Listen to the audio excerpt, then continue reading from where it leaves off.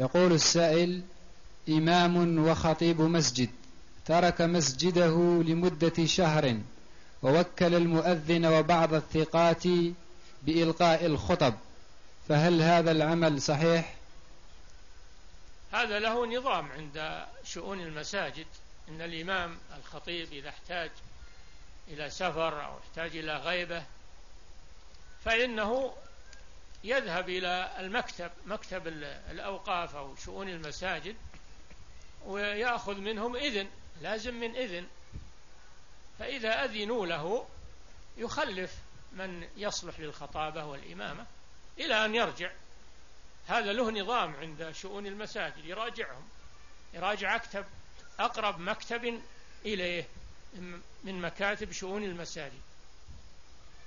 ويعطونه الرخصة. أما أنه يروح بدون رخصة لا. نعم.